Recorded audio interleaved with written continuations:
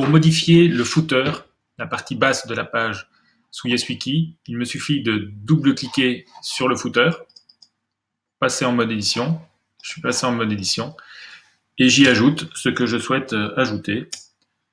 Ceci est le texte que je souhaite voir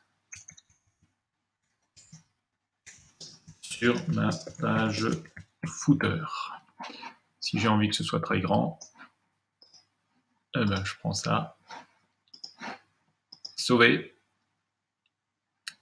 On voit maintenant qu'au niveau du footer, j'ai la partie que je souhaitais voir apparaître qui apparaît, et ce sur chacune des pages de mon wiki.